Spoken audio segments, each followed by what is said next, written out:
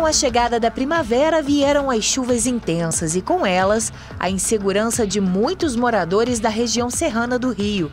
Em Nova Friburgo, Defesa Civil e associações de moradores se preparam para enfrentar os temporais. Veja a seguir.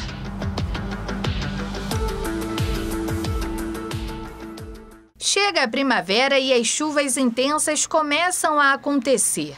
E para alguns moradores de Nova Friburgo, o período se torna de extrema insegurança. Eu acredito que ainda muitas pessoas tenham na memória a tragédia de 2011 e quando a gente se aproxima dos períodos de chuva, eu acho que surge-se uma apreensão. Desde 2011, mais de 25 mil pessoas moram em áreas de risco, muitas delas aqui no bairro Córrego Dantas. E para tentar minimizar os problemas que as chuvas podem causar, a própria Associação de Moradores criou recursos para monitorar e alertar a população sobre possíveis riscos. Um projeto muito importante é a rede de comunicação de emergência, emergência por rádio amador.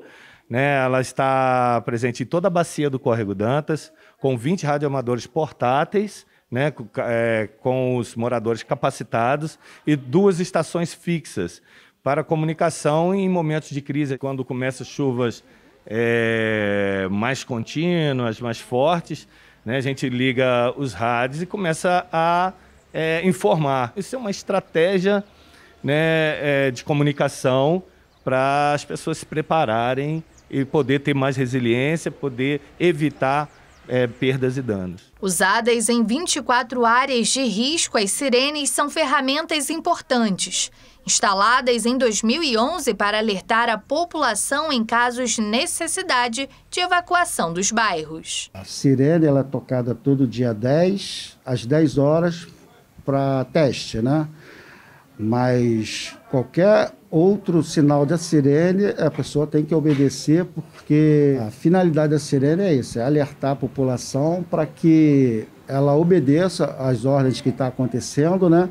para que saiam daquele local porque está tendo problema. Todas as sirenes estão funcionando, né, os pluviômetros, então a gente já veio fazendo esse, esse reparo, a firma que ganhou a, a licitação, né, já desde julho, né, fazendo a manutenção, todas elas, graças a Deus, funcionando bem. Caso as sirenes toquem, a orientação é para que as famílias se dirijam aos pontos de apoio.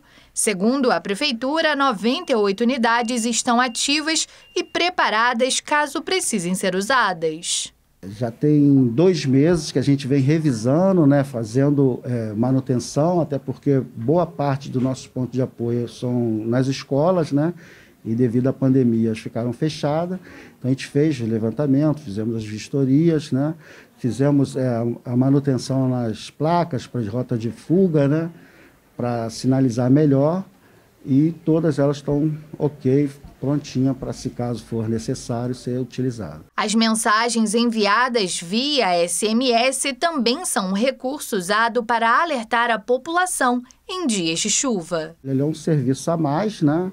Que facilita, às vezes está no trabalho, vai mora numa área de risco ou vai passar para ir para tua casa e passa pela área de risco, você recebendo esse informe no, no seu celular facilita bastante você tomar medidas é, preventivas para evitar ficar em risco né, ou passar para uma área de risco.